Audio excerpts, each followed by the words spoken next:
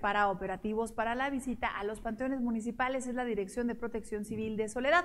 Su titular, Martín Bravo Galicia, habló al respecto.